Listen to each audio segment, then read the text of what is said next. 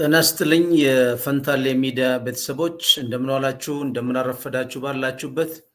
ይህ የፈንታሌ ሚዲያ ዝግጅት ነው። በዛሬ ዝግጅታችን የሼህ መሐመድ አሊ አላሙዲን በኢትዮጵያ አጠቃላይ የአምስት ዓመት ሂደት ላይ ጦርነቱ ይቁም ያሉትን አቋማቸውን አዳምጠን ሰምተን አንደኛ ብዙ ባለሀብቶች እንደምታስታውሱት ሁላችሁ እንደምንገነዘበው ስርዓት ሲናወጥ አንዱ ስርዓት ሲወርድ አንደኛው ስርዓት ሲወጣ ወይም ይሸሻለ ወይም ደግሞ ብሩንም ጠቅልሎ ይዞ ይመጣ ከሀገር አለ። በዚህ በተለየ ሁኔታቸውና ለምሳሌ በጠቅላይ ሚኒስትር መለስ፣ በጠቅላይ ሚኒስትር አብይ፣ በጠቅላይ ሚኒስትር ኃይለማርያም ደሳለኝ ላይ ግን አንድ ወጥነት ያለው ሁለት ነገር ነው። እሳቸው ከኢትዮጵያ መንግስት ጋር ነው የሚሰሩት፣ ከስርዓት ጋር አይሰሩም የሚል ከዚህ በፊትም ተደጋጋሚ አቋም አለን።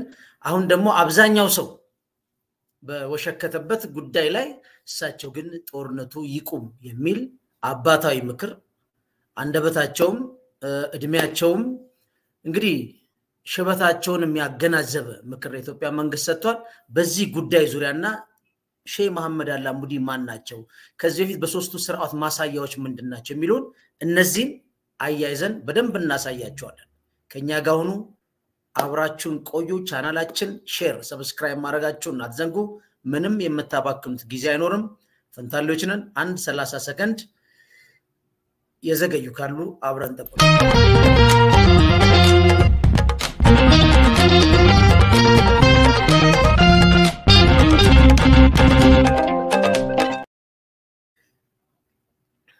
እሺ ተመልሰናል። እዚህ ጋር ማንሳት የፈለግነው የዛሬ ፕሮግራም በተለያየ ከፋፍለናቸዋል። ሼህ መሐመድ ስለ ኢትዮጵያ ሲያስቡ ምንድን ነው የሚያስቡት? ዛሬ አይደለም። የዛሬ ስንት ዓመት ምን ተናግረዋል? ጠቅላይ ሚኒስትር መለስ ምን ጠይቀዋቸው ምን የፖሊሲ ክፍተት ሞልተዋል? ጠቅላይ ሚኒስትር አብይስ ምን ጠየቁ?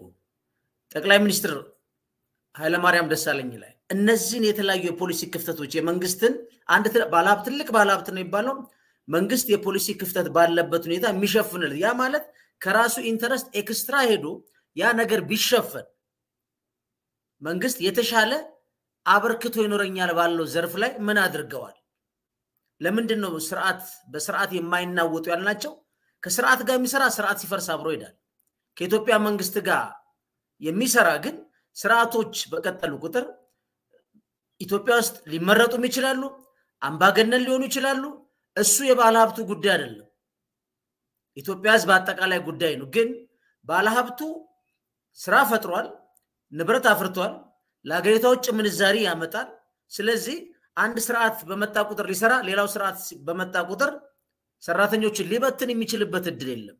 ግን ይሄን ክፍተት በመጠቀም ሀብትን፣ ሰራተኛን፣ የሀገር ፎሬን ከረንሲን በሉት አጠቃላይ የሀገር ሰላምን ደግሞ አያይዞ መሄድ በጣም ትልቅ ነገር ነው። ለዚህ ነው ዛሬ ስለሳቸው መናገር የፈለግነው። ሄዱ ሲያናግሯቸው ያሉት ይሄ ጦርነት አይበቃም ወይ? አምስት ዓመት ሂደት ላይ ብዙ ጦርነቶች አሳልፈናል። ስለዚህ አይበቃም ወይ? እንግዲህ አሁን ማነው ጥፋተኛ ማነው ትክክል የሚል ሊገቡ ትንታኔዎች ሊገቡ አይችሉም። ባለሀብት ናቸው።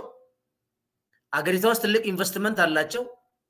ለተለያዩ ስርዓት ለመሰረቱትም የኢትዮጵያን ሕዝብ ይጠቅማል ባሉት ቦታ ተሳትፈዋል። ስለዚህ ከእሳቸው የሚጠበቀው ይህ ጦርነት ይቁም፣ ይብቃ። እሳቸው ብቻ አይደሉም፣ ሚዲያውም እያለ ነው፣ የዓለም ሕዝብ እያለ ነው።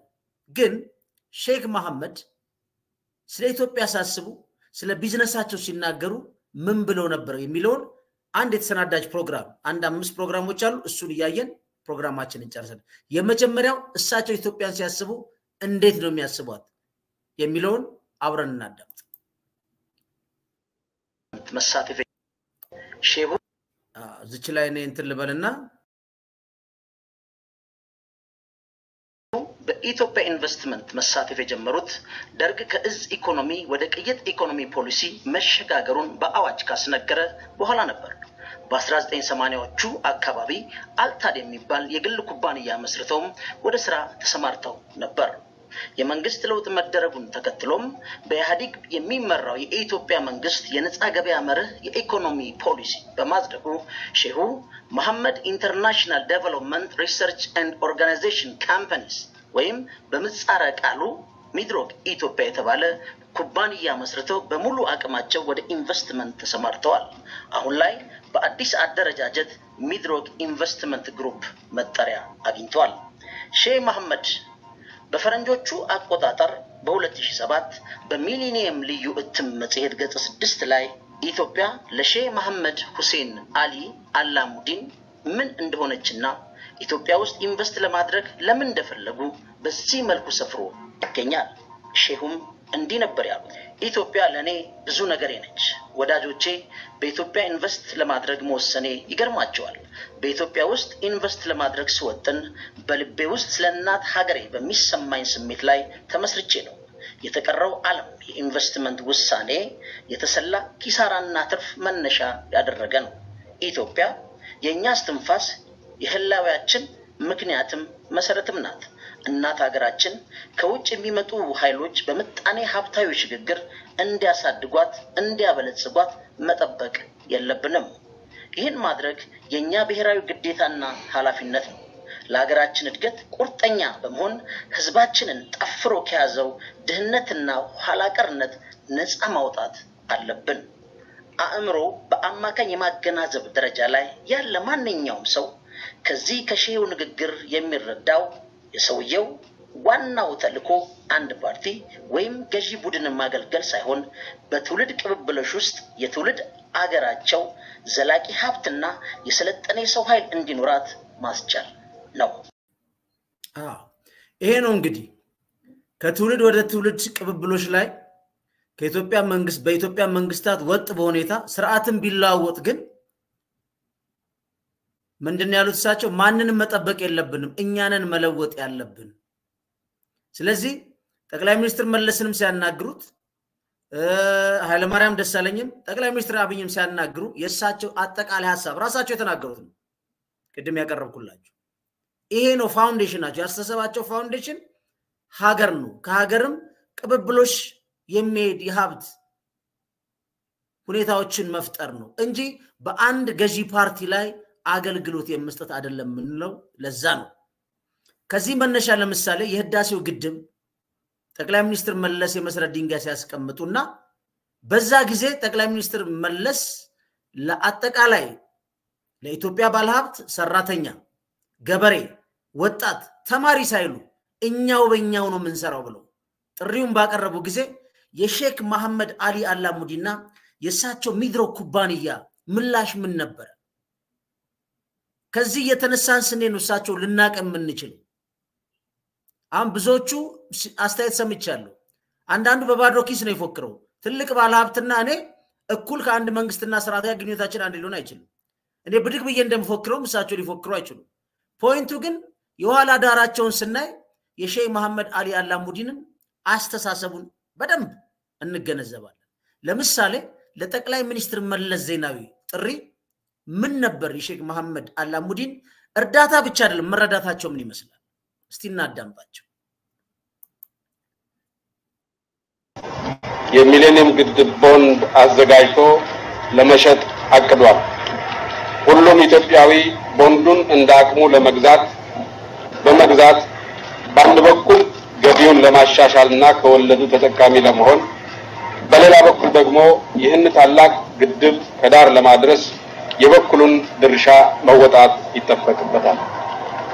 በመሆኑም የዘመናት የልማት ህልማችንን እውን ለማድረግ መላ ሀገራችን አርሶ አደሮች፣ የከተማ ነዋሪዎች፣ ባለሀብቶችና በውጭ የሚኖሩ ኢትዮጵያውያን በቦንድ ግዢው ዘመቻ እንደሚሳተፉ እምነቴ የጸና ነው።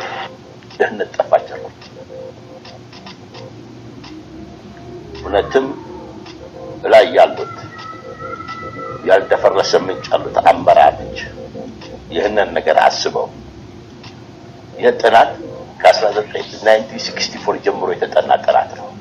ግን implement ያደረገው በዛን ጊዜ የነበረ መንግስትም ሆነ ከዛ በኋላ የመጣው መንግስት አላስበውበትም። የአሁኑ መንግስታችን ግን አስቦ ስራ ላይ implement ሲያደርገው ለኢትዮጵያ ለሀገራችን ድህነት ጠፋ፣ ሀገሪቱ በለጸገች፣ ጥቅሙ ለሀገሪቱና ለ investor፣ ለአካባቢው፣ ለጎረቤት ሀገሮች፣ ለሁሉ የሚጠቅም ትልቅ ስራ ነው ባይ እና ይሄ ህዳሴ የእኛን ያለውን እንቅፋቷን ይቀርፍልናል ብለን በሰፊው የምንንቀሳቀስ ያለው ለዚህ ነው። ግድብ ለእኔ ሳይሆን ለእኔ ብቻ ሳይሆን ለሞላው ዓለም ነው። ትርጉሙ በጣም በጣም በጣም የሚጠቅምና የሚያኮራ ስራ እኛ አሁን ለብረታ ብረቱ ፋብሪካ ሁለት መቶ ስልሳ ሜጋዋት ነው የሚያስፈልግ። ይሄ ግድብ አሁን መሰረታል ብሎ ባይጀምሩት ከየት ነበር የምናመጣው? እና ሳትወድም ተገደህ ከውጭ ነበር የምታመጣው። አሁን ግን ለወደፊቱ ኢትዮጵያ ራሷን ችላ ራሷን እንትን ብላ የምትኖር የምትችልበትና ሀገሪቱን የምታስፋበት መንገድ ሆኖ ነው የሚታይ። በጣም የሚያኮራ ስራ ነው። በአእምሮዬ በልቤ የማስበውና የምመኘው ለዚህ ግድብ ሌላው ቀርቶ የለበስነውን ልብስ እንኳን ብንሸጥ ያንሰዋል። ለጊዜው እኛ ያሰብነው አምስት ዓመት ስለሚፈጅ በየዓመቱ ያሰብነው መጠን አለ። ቦንድ ለእኔ አዲስ አይደለም። ቦንድ ዓለም ላይ ሁሉ ይሰራል እና ይሄ በጣም ትልቅ የመንግስት አስተሳሰብና የለውጥ አስተሳሰብ ነው ብዬ ስለማምንበት ቦንዱ እንደ ካሽ የሚቆጠሩ። ስለዚህ እኛ ለአሁኑ ዓመት ለሚደረገው አንድ ነጥብ አምስት ቢሊየን ብር አዘጋጅተን የመጀመሪያው እንግዲህ እንደ አቅሜ ይህን አስበናል እና የሚቀጥሉት ዓመታት ደግሞ እንደዚሁ እየቀጠል እንሄዳለን።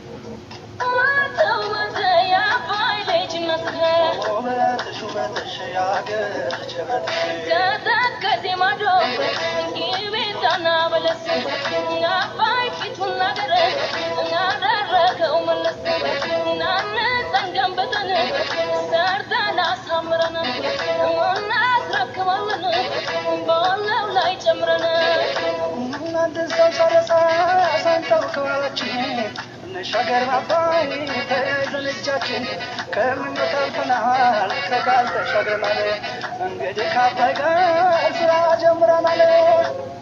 በጣም የሚያኮራ የሆድ ስሜት ነጋዴው፣ ገበሬው፣ መንግስት ሰራተኛው፣ ተማሪ፣ ህዝቡ ተሳትፎ ያየሁት አንድነትን ፈጥሮ ከመንግስት ጋር ውሎ ይህንን hydro power ለመስራት ያላቸው ርብርብ በጣም የሚያኮራና ሀገርን የሚያስጠራ ነው። በጣም ደስ የሚል ነገር ነው። ድህነት እንደጠፋች የቆጠርኩበት ጊዜ የቀድሞ ጠቅላይ ሚኒስትር መለስ ዜናዊ የኢትዮጵያን የድህነት ብሔራዊ መለዮን nation branding ለመቀየር በአባይ ወንዝ ላይ የህዳሴውን የኃይል ማመንጫ ግድብ ለመገንባት የመሰረት ድንጋይ ሲያስቀምጡ ለባለ ሀብቶችና ለዜጎች ያቀረቡት ጥሪ ነበር።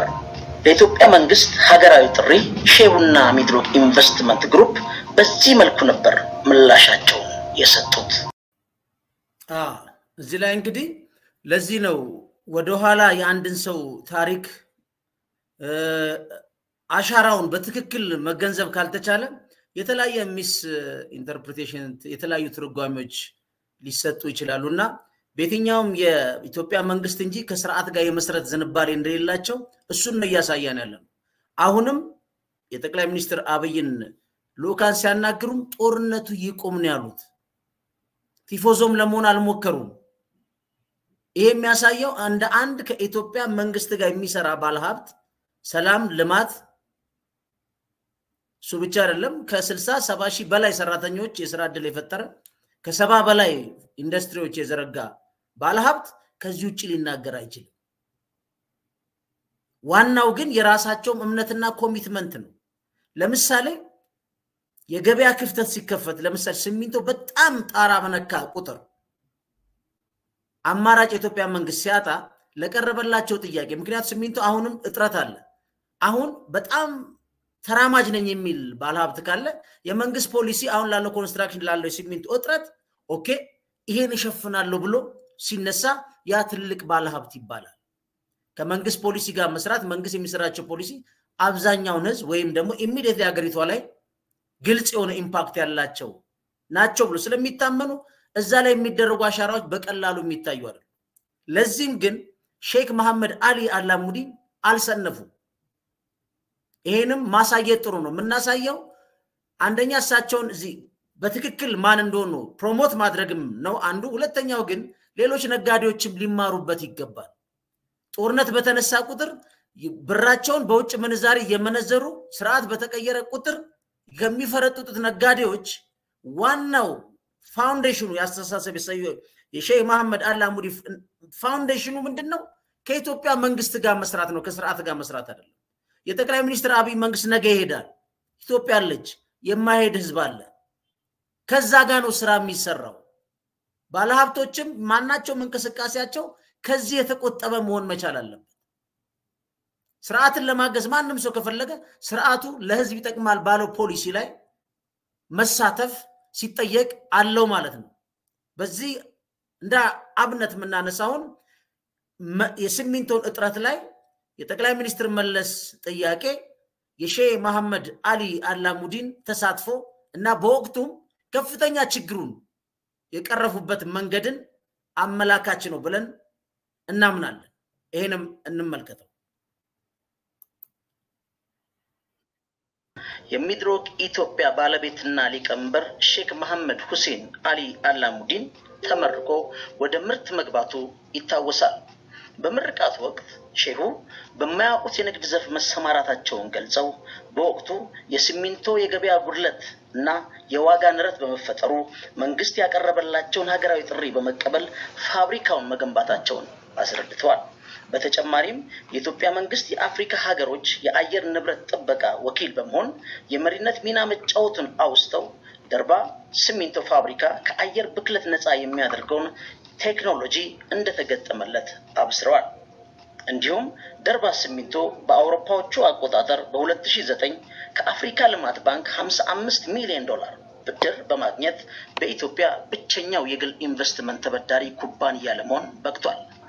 በድምር ውጤቱም የሲሚንቶ ዋጋ ንረትና የገበያ ጉድለትን በማረጋጋት በወቅቱ ደርባ ሲሚንቶ ትልቅ ሚና ተጫውቷል። ክቡር ጠቅላይ ሚኒስትር ያስታውሱ እንደሆነ የዛሬ አራት ዓመት ወይም አምስት ዓመት መሐመድ ትልልቅ ኢንዱስትሪዎች ውስጥ እንድትገባ እፈልጋለሁ አሉ። እንግዲህ እኔ የመጣሁት ከተባረከው ከሳውዲ ስለሆነ ትውልዴም ኢትዮጵያ ቢሆን ትልቅ ፕሮጀክት የማስበው oil፣ petrochemical ምናምን ነበር። ትልቅ ኢንዱስትሪ ብሎ ግራ አጋቡኝ ጠቅላይ ሚኒስትሩ ብዬ ማሰብ ጀመርኩ። ከዛ በኋላ መምከር ጀመር። የመጀመሪያ የሀገሪቱን ችግር እንዴት እንፍታ በሚል ነበር ዓላማው። በዚች ሀያ ዓመታት ውስጥ ከሰራኋቸው ስራዎች ድርጅቱን ከቢሮ ሁኜ እየመራሁ ስራው እንዴት ሆነ ሳላየው ታላላቅ የመንግስት አባላት አገር ወዳዶች በሙሉ ሂደው አይተውት ካዩት በኋላ ካየ በኋላ እውነትም challenging project ነው፣ ትልቅ ኢንዱስትሪ ግባ ሲሉኝ ይሄ ነው ብዬ ራሴን አስተማመንኩት። ግን የሚሰራና የሚያሰራ መሪ ባይኖር እኛም ስራውን አንሰራው ነበር። ምንድን ነው ክቡርነቱ የሚመሩት global warming ብሎ ስላስደነገጡን ይህንን global warming ን ለመጠበቅ environment ኡን የጠበቀ ለእኛም ኃይለኛ ትምህርት ሆኖ የተማርንበት ፋብሪካ ነው።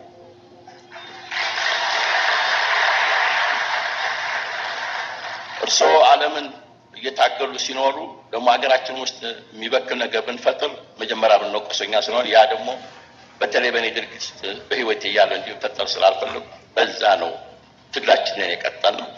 successful ሆነናል። ይህ ፋብሪካ እኛ ያስተማረን international financing ባንኮች ያወጡት ውረድና መውጣት ነው። ክቡር ጠቅላይ ሚኒስትር ብነግረዎት እንደገና ትምህርት ቤት መግባቱ ይሻላል። ይኸው የመጽሐፉ ብዛት ጥናት ነው የሆነ ይሄን አውጡ፣ ይሄን አስገቡ፣ ይሄን አውጡ፣ ይሄን አስገቡ፣ ይሄን አስገቡ ሲሉን እነዚህ ሰዎች ብራቸው ቢቀርብንስ እኔ ለሀገር ይጠቅማል ብለን ነው እንጂ የ international financing group ሀገሪቱን አምኖ እንዲመጣ ፈልገን ነው እንጂ ቢቀርብንስ ምንድነው ስል እንዳትዋረድ ይላል ኃይሌ። ምን ነው ጠቅላይ ሚኒስትሩ global environment እያሉ ነው እና የእሳቸውን አርማ መከተል ያለብን። እሺ ብለን ከእነሱ ጋር አንድ አመት ፈጀ። እነሱ ገንዘቡን እስከሚሰጡ ብለን አልጠበቅንም። ከኪሳችን እያወጣን ስራውን ቀጠልን። ውጤታማ ሆነ። international financing ኢንስቲትዩትስ በሙሉ ኮሩበት፣ አመኑበት። በሀገሪቱ ትልቅ ክብር ሰጡ። በጣም እናመሰግ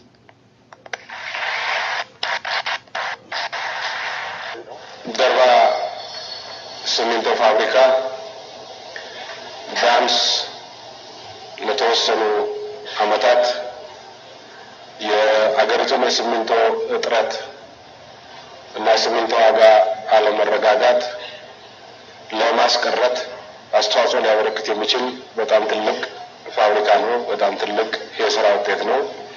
በዛ ላይ በመመስረትም ለወደፊቱ የሲሚንቶ ኢንዱስትሪያችን በብዙ እጥፍ ማደግ ይኖርበት።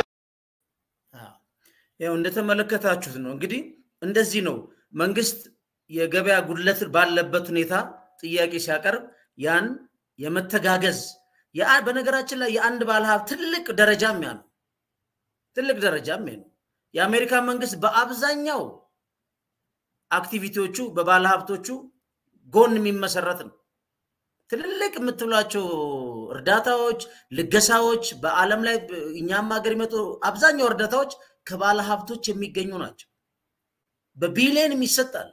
ለምሳሌ ቢል ጌት ለማላሪያ ምርምር እስከ 750 ሚሊዮን ዶላር የሰጠበት እነ ዋረን ቡፌት billions ነው የሚሰጡት።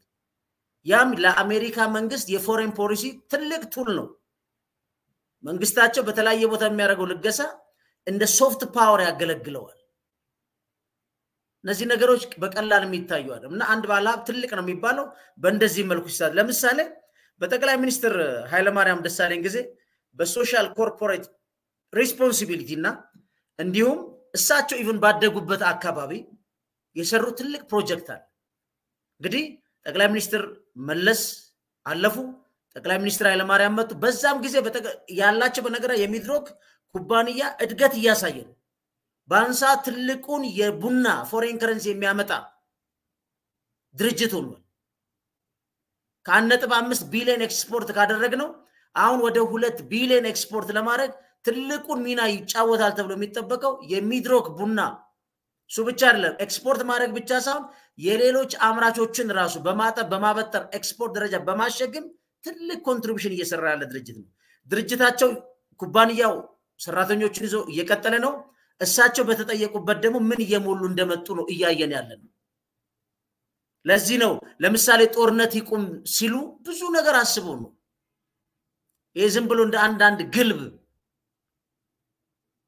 የሚሰጡ አስተያየቶች አይደለም፣ ተጨባጭ የሚቆጠሩ ናቸው። ለምሳሌ በጠቅላይ ሚኒስትር ኃይለማርያም ደሳለኝ ጊዜ እንዳነሳት በ corporate responsibility የሰሯቸውን እንመልከት። ምክንያቱም በየስርዓቱ ውስጥ ሳይሆን ኢትዮጵያ መንግስትን ተከትለው ነው የሚሰሩት። ስርዓት ሀጅ ነው። እስቲ ምንድን ያበረከቱት ለወጣቶች ምን አደረጉ የሚለውን አለ አንድ return ማለት ነው። ይሄን እንመልከተው እና እንመለሳለን፣ እናዳምጠው።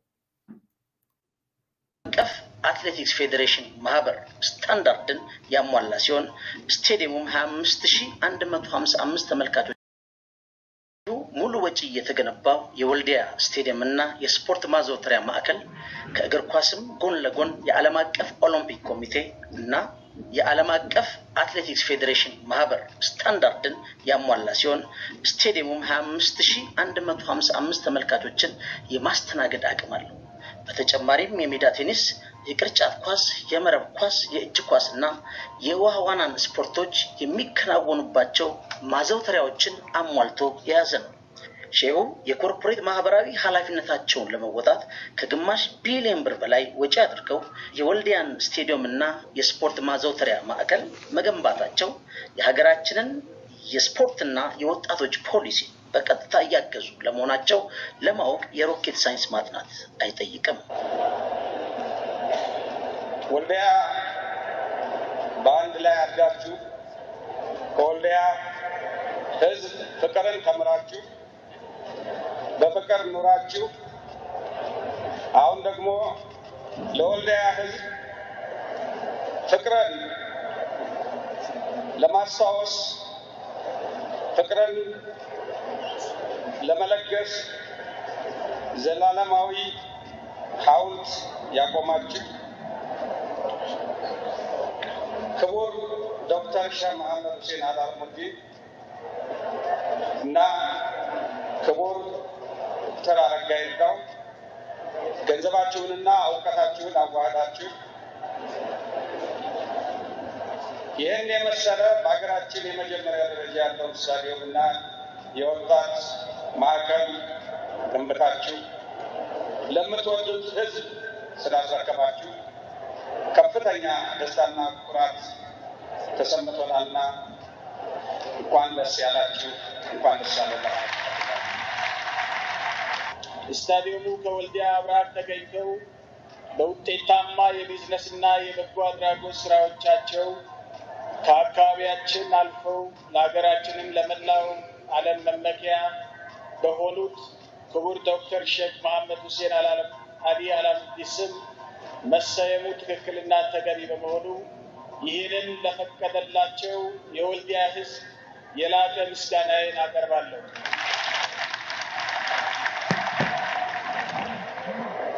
እጅግ የምንወደውት ወንድማችን ክቡር ዶክተር ሼክ መሐመድ ሁሴን አልአላሙዲ በልጅነት ዘመኖ ከዶክተር አረጋና ሌሎች የዕድሜ እኩያዎቹ ጋር ቦርቀው ባደጉባት የወልዲያ መቻሬ ሜዳ ላይ እንዲህ ያማረ ዘመናዊ ስታዲየም በስሙ በመታለጹ እንኳን ደስ ያሉት እያል የወልዲያና የዞኑ ሕዝብ የሰነቀውን ራዕይ በመጋራት ለሕዝቡ የሚሆን እጅግ በጎ ስጦታ ለማበርከት በመቻሉ በኢፌዴሪ መንግስትና በራሴ ስም እጅግ የላቀ ምስጋና ከልብ ላቀርብልዎት እወዳለሁ።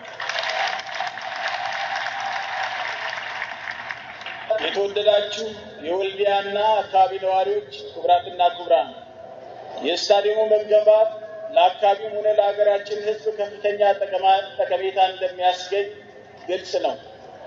በስታዲየሙ ግንባታ ወቅት በተፈጠሩ የስራ ዕድሎች በሺዎች የሚቆጠሩ ወጣቶችና የአካባቢው ነዋሪዎች ተጠቃሚ ሆነዋል። ስታዲየሙ በዓለም አቀፉ የእግር ኳስ ፌዴሬሽን ፊፋ እና በዓለም አቀፍ አትሌቲክስ ፌዴሬሽን ህብረት አይኤፍ የተቀመጡ መስፈርቶችን በአስተማማኝ ሁኔታ በማሟላት ዓለም አቀፍ ውድድሮችን ለማዘጋጀት ብቃት እንዳለው ተመስክሮለታል። ይህም በርካታ የሀገር አቀፍም ሆነ ዓለም አቀፍ ውድድሮች በወልዲያ ከተማ እንዲካሄዱ እድልን ይፈጥራል። በዚህ መሰረት ወደዚህ ስፍራ ታይቶ በማይታወቅ መንገድ ከፍተኛ የስፖርት ቱሪዝም ፍሰት እንዲኖር ስለሚያደርግ ለከተማውም ሆነ ለአጎራባች ወረዳዎች በርካታ የእድል በሮች ይከፍታል። ከዚህ በተጨማሪም ሀገራችን ታላላቅ ዓለም አቀፍ ውድድሮች እንድታዘጋጅ ተጨማሪ አቅምን ይፈጥራል ተብሎ ይታመናል። በመሆኑ የወልዲያ ከተማም ለዚህ ብቁ ሆኖ የወልዲያ ከተማም ለዚህ ብቁ ሆና እንድትገኝ የሚያስችል ስራዎችንም መስራት የሚገባል ይሆናል። ይህ ዘመናዊና ግዙፍ ማዕከል የውድድር ስፖርቶችን ማካሄጃ ሆኖ ከማገልገሉን ባሻገር የአካባቢው ወጣቶች የስነ ልቦና እርካታ የሚጎናጸፉበት፣ አካላቸውና አእምሯቸውን የሚያጎለብቱበት እንዲሁም ከቴክኖሎጂ ጋር የሚተዋወቁበት ማዕከልም ሆኖ የማገልገል አቅም ያለው በመሆኑ ወጣቶቻችንን በስፋት በማሳተፍ የበለጠ ተደራሽ ማድረግ ተገቢ ይሆናል። ይህም ስራ በአሁኑ ወቅት ወጣቶቻችን የሚያነሱትን የሁለንተናዊ ተሳትፎ ጥያቄ በመመለስም የራሱን ድርሻ መጫወት መቻል ያለበት ይሆናል። በዚህም ምክንያት ከክቡር ዶክተር ሼክ መሐመድ አላሙዲ ጋራ እዚሁ በተቀመጥንበት ተመካክረን ይህ ስታዲየም መሐመድ ሁሴን አሊ አላሙዲ ስታዲየም እና የወጣቶች ማዕከል ተብሎ እንዲሰየም ስያሜው ተልእኮውን የሚያስመሰክር እንዲሆን ማድረግ እንደሚገባን ተስማምተናል።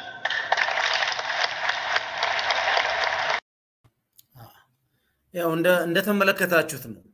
ስለዚህ በጠቅላይ ሚኒስትር ኃይለማርያም ጊዜም ይሄን ግዙፍ ምንም አይነት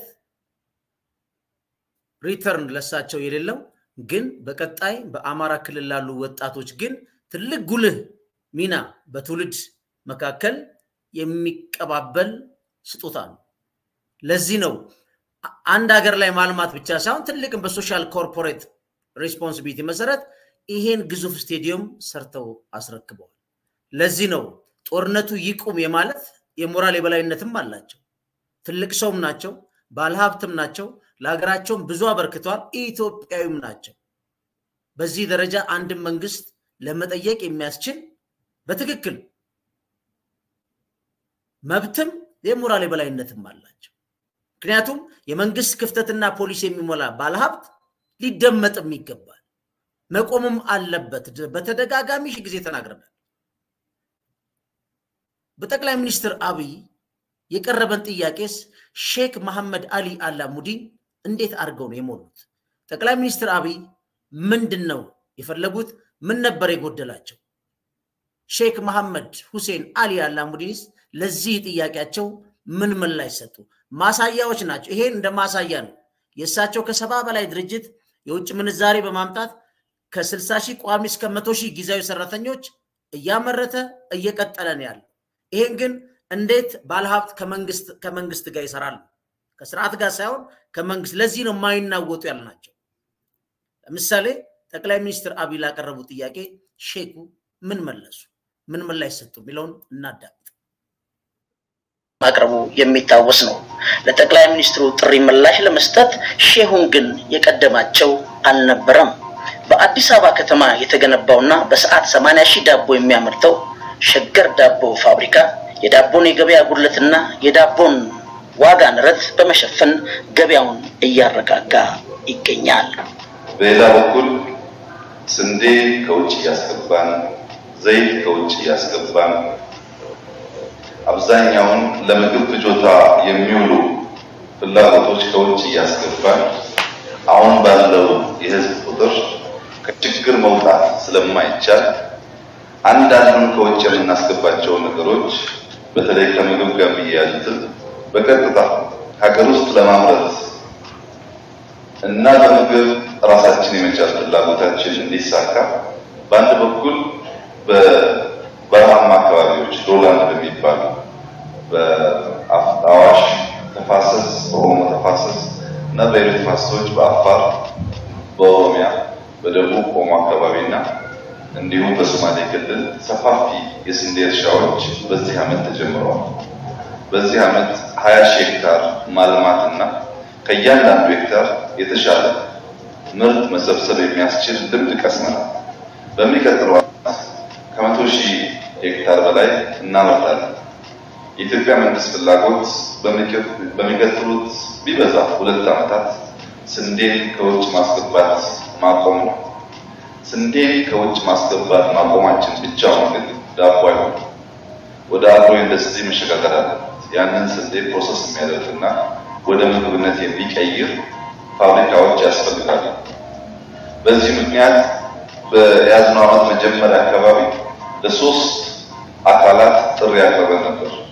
አንደኛው ለግል ሴክተር፣ ሁለተኛው መርዳት ለሚያስችሉ የልዩ ልዩ ተቋማትና ግለሰቦች።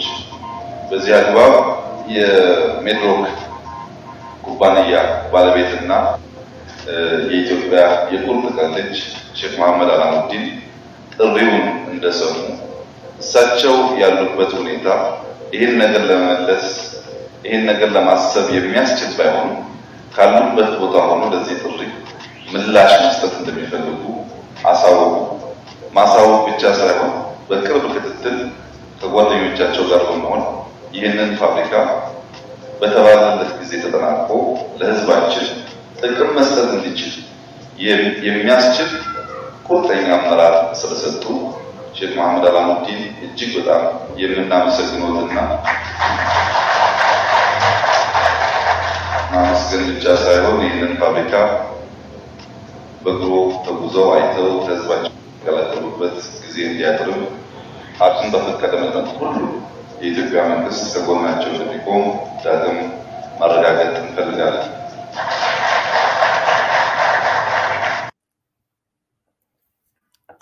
የጠቅላይ ሚኒስትርም አብይን እንግዲህ እንደ ፖሊሲ ክፍተት ነው ይሄን ነገር ጥያቄ ሲያቀርቡ ሼኩ አላቅማሙ የኢትዮጵያ የቁርጥ ቀን ልጅ ነው ያሏቸው። እንግዲህ ከመንግስት ጋር መስራት ማለት ይሄ ነው። አሁን ያለንበት የጠቅላይ ሚኒስትር አብይ መንግስት ወይም ስርዓተ መንግስት ላይ ነው ያለነው። ለዚህ ነው አንድ ባለሀብት ትልቅ ነው የሚባለው ከኢትዮጵያ መንግስት ጋር እየሰራ የኢትዮጵያ መንግስት ለማስተዳደር ስርዓት ከሚዘረጉ ፓርቲዎች ጋር ደግሞ አጠቃላይ ህዝባዊ ፋይዳ ያለው ጠቀሜታ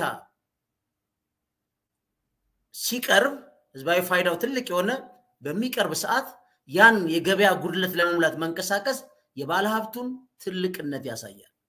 ኃላፊነት የሚሰማው ባለሀብት መሆኑ ያሳያል። ይሄ ዝም ብሎ ጠይቆ ያጣ ተሳድቦ ሄዳል እንደሚባለው እሳቸው ዙሪያ ዞሮ ዞሮ በአንድም በሁለት በሌላ ቦታ የተገፋውም እምቢ የተባለውም በየሚዲያው የሚረጨውን ሳይሆን point በትክክል ግን በተግባር ይሄ እንግዲህ የገበያ ጉድለት እየሞሉ ነው። በ business plan by design የሚሰሩ የእሳቸው ከፍተኛ የውጭ ምንዛሪ የሚያመጡት ድርጅቶቻቸው እንደቀጠሉ ናቸው። ይሄ extra ነው እንግዲህ የመንግስትን የገበያ ጉድለት የሚሞሉት። ለዚህ ነው ጦርነት ይቁም ሲሉም ይገባቸዋል ማለት የሞራል የበላይነትም አላቸው። ሊደመጡም ይገባል። ማንም ሰው ይህን አስተያየት ቢሰጡ በቀናነት ነው መውሰድ ያለባቸው። እሳቸው ስላሉት ብቻ ሳይሆን እያንዳንዱም ዜጋ in daily basis የሚጸልየው የሚለምነው ይሄ ጦርነት ይቁም ነው። ግን የእሳቸውን አስተያየት መስጠት value ሊደረግ ይገባል። በነገራችን ላይ በዚህ ሸገር ዳቦ አልቆሙም። ሼክ መሐመድ በአስር ከተሞች በአንድ ነጥብ አንድ ቢሊዮን ብር በመመደብ ዳቦ ፋብሪካና የዱቄት መፍጫ ፋብሪካዎች ከፍተዋል። ይህን ሲያስተባብር የነበረው በቀዳማዊ እመቤት ዝናሽ ታያቸው የሚመራው ቢሮ ነው። ዋና የገንዘብ ምንጩ ለህብረተሰቡ ተጠቃሚነት እንዲሆን አንድ ነጥብ አንድ ቢሊዮን ብር መድበው የሰሩት ሼክ መሐመድ አሊ አላሙዲን ናቸው። ከአዲስ አበባ ህዝብ ውጭ ላለውም ተደራሽ እንዲሆን ማለት ነው። ይሄ ብቻ አይደለም። በአዲስ አበባ ውስጥ ከተገነቡት በቀን አንድ ጊዜ የደሃዳ በሚባሉ ህብረተሰብ ላይ ያሉ ቢያንስ በቀን አንድ ጊዜ ለመመገብ ከተሰሩት ውስጥ ሶስቱን ትልልቅ ጣቢያዎች እያንዳንዳቸው በሺዎች በቀን ቢያንስ አረጋውያን አንድ ጊዜ እንኳን እንዲመገቡ የገነቡት እሳቸው ናቸው። ያስተባበሩት የአዲስ አበባ አስተዳደር ከንቲባ ወይዘሮ አዳነች አቤቤ ናቸው። የማስተባበር ሚና አስተዳደሩን ሲወስድ የፋይናንስ ምንጩን በመገንባት በማብላት ግን ሼክ መሐመድ አሊ አላሙዲን ናቸው። ለዚህ ነው አንድ ባለ ሀብት ሀብት ብቻውን ምን ዋጋ አለው? ማካፈል፣ ለሌለው ማዳረስ፣ መንግስት የገበያ ጉድለት ሲጎለው ደግሞ መሙላት። አገሪቷ ደግሞ ቀውስ ስትገባ እንደ አንድ አባት እንደ አንድ ባለ ሀብት ይሄ ነገር ይብቃ፣ ጦርነቱ ይብቃ፣ ደም ማፋሰሱ ይብቃ፣ ወደ ትክክለኛው ሰላም ጎዳና እንምጣ ማለት ደግሞ ታላቅነታቸውን ነው የሚያሳዩት። እንደሌላው ጦርነት ተነሳ ብሬን መንዝሬ ልውጣ አላሉ። አንድ ብር ቤዛ ቤስቲን ከኢትዮጵያ ወሰዱት የለም። የእሳቸው እያንዳንዱ ሀብት reinvest ነው የሚደረገው። ይህን ከየትኛውም commercial bank ከፈለጋችሁ ብሔራዊ ባንክ statement ማየት reinvest እንጂ ከዚህ የሚወጣ ሀብትም የላቸው። reinvest ባረጉት ደግሞ አዳዲስ ሰራተኞች እንዲቀጠሩ ሀብታቸውም እንዲሰፋ አንድ አገሪቷን ከፍተኛ ተጠቃሚ እንድትሆን ሁለት ያግዛል። እሱ ብቻ አይደለም። በቡናው ዘርፍ አነስተኛ የቡና አምራቾችንም መሳሪያ even እየገዙ ዘሮች ሁሉ እያቀረቡ ሌሎችም ባለሀብት እንዲሆኑ እያበቁ ያለበት ነው። የሚድሮክ አጠቃላይ የ management ኡ አስተዋጽኦ እንደተጠበቀው ነው። management ኡ የፈለገ effective ቢሆን ባለሀብቱ ቀና አገር ወዳድ በተለይ ደግሞ የተጎዳውን ህብረተሰብ ልደርስለት ይገባል ብሎ በሞራል ተጠያቂነት ራሱን እስካላስቀመጠ ድረስ ማንም ሰው ሊያካፍል አይችልም። እሳቸው ግን አድርገውታል። ሌሎቹ ሳይኖራቸው ቀርቶ አይደለም። ግን መስጠት መታደል ነው፣ ማግኘትም መታደል መታደል ማግኘት ብቻ አይደለም፣ መስጠትም የፈጣሪን ፍቃድ ይፈልጋል። ያለው ሁሉ አይሰጥም። ለመስጠትም መታደል ያስፈልጋል። ይህን ግን አሟልተዋል። የኢትዮጵያም ልኡካን ሲሄድ በሚመጥናቸው እድሜና ደረጃ ጦርነት ይቁም ነው ያሉት። እሰ ያበጃችሁ ተጫረሱ፣ ጎሽ ጥሩ አረጋችሁ እየተባለ ሌላው ሰልፍና ቲፎዞስ ገብቶ እንደሚንፈራፈረው ሳይሆን በደርዛቸው በሚመጥናቸው እንደ አባት እንደ ታላቅ ይሄ ነገር ይቁም፣ ይሄ እኛም ባርኔጣችን ከፍ አድርገንላቸዋል። ተገቢም እሰየውም የሚባል ነው ማለት ነው። ለዚህ ነው ተራ ነገር አይደለም ይቁም ሲሉ አሻራም አላቸው ለህዝብ የቆሙበት ከመንግስት ጋር አብሮ የሰሩት ይህን ሁሉ ስንደምር ይሄኔ ማለትም ሊደመጡ ይገባል። ብዙ እንግዲህ diplomatic community ው የሚናገረው አንደኛው ምንድን ነው? invest foreign direct investment ነው። የእሳቸውን የሚያህል foreign direct investment ያለው በግለሰብ ደረጃ ማንም የለም። ይሄ የሚታወቅ ነው።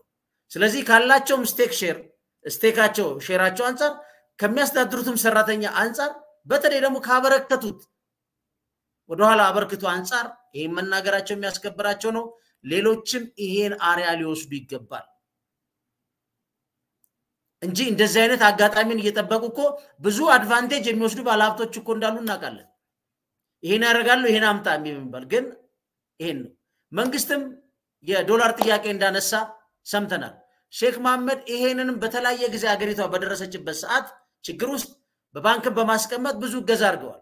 ግን አሁን ያላቸውም እርሳቸውም እንግዲህ እንደሰማ ነው የቢዝነስ መቀዛገዞች የተለያዩ እሳቸውም ያሉበት ሁኔታዎች እንደ በፊት የተሳለጠ ባያደርግላቸውም ግን በእርግጠኝነት የእሳቸው ሊረዱ የሚችሎች ማናቸውም ሀብቶች ግን ልማት ላይ የሚውሉ አብዛኛውን ህብረተሰብ ሊጠቅሙ እንደሚችሉ መንግስት ግን ማረጋገጥ መቻል አለበት።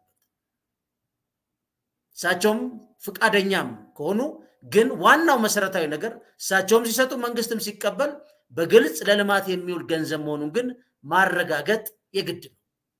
ምክንያቱም እስከዛሬ ያላቸው track record በእሳቸው እገዛ የለሙ ስለሆኑ አብዛኞቹም ወደ ልማት የሚሄዱበትን መንገድ ማየት ጠቃሚ ነው። እሳቸውም ጋር ያሉት ሚድሮክ ላይ ያሉ ሰራተኞች፣ በተለይ ትልልቅ ኃላፊዎች ይሄ ከዚህ ሊማሩ ይገባል። የበፊት ተግባራቸውን እናውቃለን። ባላዩት ሁሉ ምስክርነት ሲሰጡም በአደባባይ ቀርበው ሰምተናል፣ ታዝበናል። ግን ባለሀብቱ በሞራል የበላይነት አንድ፣ ሁለተኛ ለእውነትና ለህዝብ የቆሙ መሆናቸውን ግን አስመስክረዋል። ጦርነቱ ይቁም ብለዋል። ሌሎችም management ላይ ያላችሁ ይሄን ነው ልትከተሉት የሚገባው። ግን በኢትዮጵያ ውስጥ በአምስት ዓመት ባለፈው ጦርነት ላይ በየሚዲያውና በአንዳንድ የነበራችሁ activity እጅግ አደገኛ የነበረ ግን ማንሳት የማይጠበቅብን ግን ከባለ ሀብቱ ተማሩ። ማንም ሰው ስለ ሰላም ነው መዘመር ያለበት። በተገኘው ቀዳዳ መንግስትን አግዥ ያለው እያለ ክራይ ለመሰብሰብ ከመነሳት ዋናው የሀገሪቷን ሰላም ምክንያቱም የሀገሪቷ ሰላም ካልተጠበቀ ባለሀብትነትም ኢትዮጵያ ውስጥ የለም። ሼክ መሐመድ አላሙዲ ከኢትዮጵያም ብዙ የገዘፈ ሀብት አላቸው። ኢትዮጵያ ውስጥ ያለ ቢጠፋ እሳቸው ይከስራሉ፣ ይወድማሉ ማለት አይደለም። ግን እሳቸው ያስቀደሙት የኢትዮጵያ ሕዝብ ሰላም ይገባዋል ነው። ምክንያቱም ከ11 ምናምን 13 ቢሊዮን በላይ ዶላር በትልልቅ ኢንቨስትመንት አላቸው። ከእሳቸው በላይ ሰራተኛው ቤተሰብ ኢትዮጵያ እንደ ኢትዮጵያ ነው የምትጎዳው። ግን እሳቸው ይህም አላሳሰባቸው። ግን የህዝቡ ሰላም ይቅደም፣ ጦርነቱን አቁሙት፣ በቃ ወደ ልማት ተመለሱ ማለታቸው ግን ምን ያህል ለኢትዮጵያ ህዝብ ታማኝነታቸውን አሳይተዋል። የእነሱም ሰራተኞች በተለይ ከፍተኛ ኃላፊዎች ይማራሉ ብለን እናምናለን። የዛሬ ዝግጅታችን እንግዲህ በዚያ በቃል አሁንም በድጋሚ ሼክ መሐመድ አላሙዲን ለጦርነት ይብቃ ብለው ለተነሱበት አስተሳሰባቸው ያለንን ክብር ለማሳየት ነው ይህን ፕሮግራም ያዘጋጀ ነው። በመጨረሻም እንደ መውጫ አድርገን ያዘጋጀነውን አድርገን ፕሮግራማችን እንጨርሳለን። ቻናላችን like፣ subscribe ማድረጋችሁን አትዘንጉ። ከቻላችሁ አግዙን። የበለጠ ስቱዲዮችንን በማስፋፋት በተደጋጋሚ እንደምንለው ትልቅ ሰላምን base ያደረገ ስራ ለመስራት የ peace journalism promote ለማድረግ የተቋቋመ ጣቢያ ስለሆነ ብታግዙን ደግሞ የበለጠ ጥሩ ነው እንላለን። መልካም ምሽት፣ መልካም አዳር። መጀመሪያ ግን የሽኝቱን እናዳምጥ።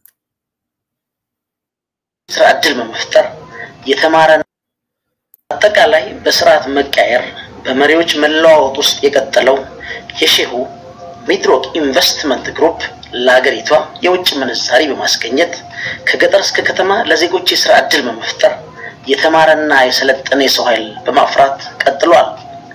ሚድሮክ ኢንቨስትመንት ግሩፕ ዋነኛው ስራው ቢዝነስ ቢመስልም ጠለቅ ብሎ ለተመለከተው ግን አገሪቷ በጎደለባት እየገባ የሚሞላ ነው። ግንባታዎቿን ለማስቀጠል ሲሚንቶ ሲቸግራት፣ ፋብሪካ ይከፍታል። ዜጎቿን ለመመገብ የዋጋ ንረት ሲያንገላታት ዳቦ ማምረቻ በመክፈት ጉድለቷን ይሞላል። የውጭ ምንዛሪ እጥረት ሲገጥማት መቀነቷን ለመሙላት ይታትራል። በሻይ ቅጠል ልማት የ import substitution ጥማቷን አሳክቷል። ከማዕድንና ከግብርና ምርቶች ሽያጭ የሚያገኘውን ገንዘብ በመንግስት ባንክ ቋት ውስጥ ይጨምራል። አንዱን ጥሎ ሌላውን ማንጠልጠል ንግድና ስልጣኔ የሚመስለው በርካታ ነጋዴ ባለበት ሀገር ሀገራዊ ፋይዳቸው ከፍ ባለ ኢንቨስትመንት የሚሳተፉ የተሰላ ኪሳራና ትርፍ መነሻ ሳያደርጉ በአገር ፍቅር ስሜት እየተመሩ ከስልሳ ሺህ ለሚበልጡ ዜጎች የስራ ዕድል የፈጠሩ ናቸው። በእርግጥም ሼሁን የሚበልጥ አገር ወዳድ ከወዴት ይገኛል የምንለው ከላይ በዘገብናቸው መከራከሪያ ነጥቦች ነው።